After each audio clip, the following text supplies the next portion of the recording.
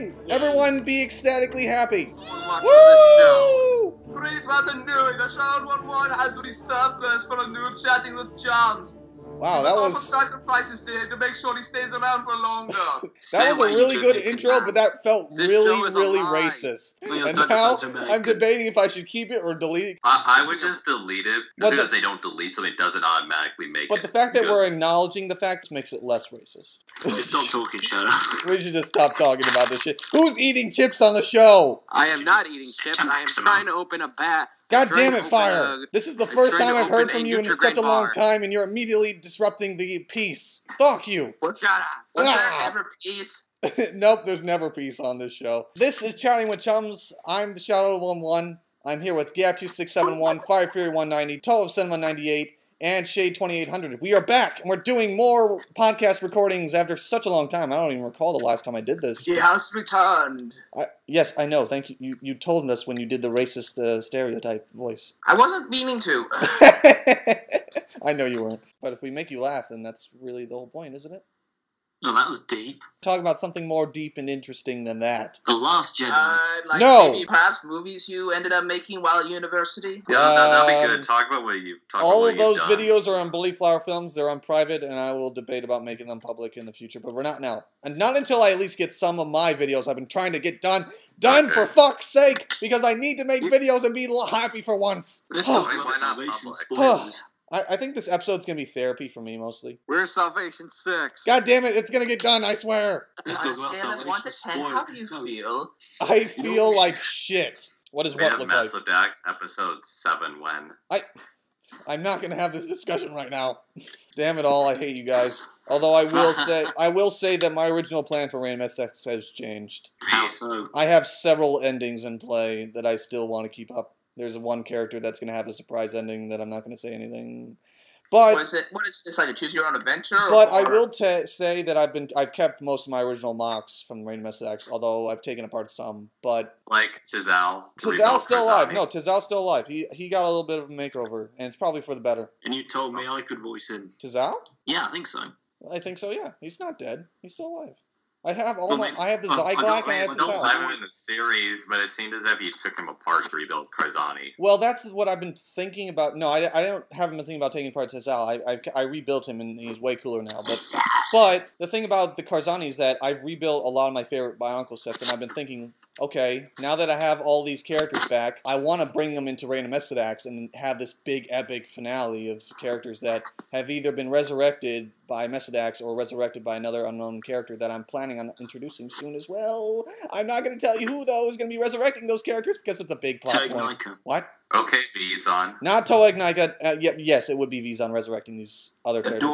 Like, I'm not even kidding. I've been thinking about what if Vezon resurrected Karzahni, and what would that conversation be like? and it would be like Karzahni would immediately want to kill Vezon, but Vezon could just snap his fingers, and Karzahni would be nothing. Or, Thanos or much. Vezon could be like, hey, why is there a place and another plant named after you? That would be a question that he would ask. Like, why are you? Why are you? Is everything named after you? And he would just be like, I don't know. Why is your name basically hell in our language? It is. It is. Go to Karzahni, man. Hey, by the way, That's the Gab. right thing. Gab, I have a question for you because I'm always getting flabbergasted about not making videos. Where are your videos that I did voiceovers for for Vezon four years ago? Well, can I tell you the sad story is that when you did those lines, Yes. and I was actually making the film, but then my computer crashed and I lost all the all the photos, and that was like five years ago. Why didn't you go back back and reshoot? What? Why didn't you reshoot? Because I, I wasn't in the mood. I, I lost interest. Damn it, Gab, why didn't you back it up? That's what I've done for Salvation 6. I literally backed up thousands of images on two hard drives. Oh, good for you. Because I like to be ahead of the thing, just in case. Well, I wasn't. I was just a dumbass who doesn't do that. Yes, I mean, well, that's you. Well, the funny thing is, I actually do kind of want to write a script for like the finale or something that I'm probably going to try and organize into like four episodes or something. You- So it's should- like the Clone Wars movie, except actually good. that's Maybe I don't know if I get the motivation to do it because I mean I've got all summer for that. well, then do it, you nerd. Did the Skype call fall again? Ah! Yay, we're back. We had a little bit of a hell, and uh, I'm back now. So we can continue talking about our lives and how Karzahni is basically the human equivalent of hell. I was considering him more of a boogeyman. No. He was more so of a, a weird boogeyman Wait, that if was. Karzahni is hell, does that make Artakha heaven? Yeah, that's exactly what it is. Actually, Greg has said that Karzahni was. Nerd. Greg Greg couldn't say hell on like Matoran websites, but that is what he said. He said that's the equivalent of the underworld, and that Karzahni himself is like, An asshole. The devil. yeah. Then what does that make Makuta? Um, A Lucifer. devil. well, Lucifer Lucifer is and the, the devil devil. are the same per- character.